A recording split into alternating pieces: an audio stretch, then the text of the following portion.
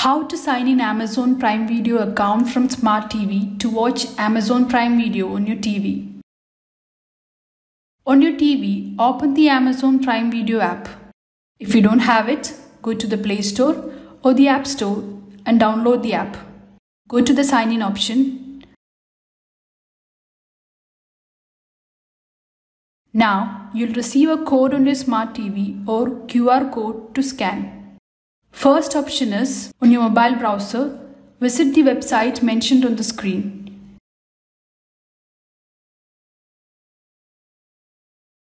Enter the code.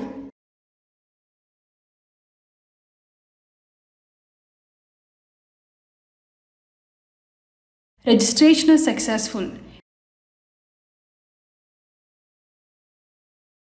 Or the second option is Scan the QR code using your mobile camera. Open Prime app. Tap Allow. Registration is successful. Enjoy Amazon Prime Video on your smart TV. Hope this video was helpful. For more videos, like, share and subscribe our channel.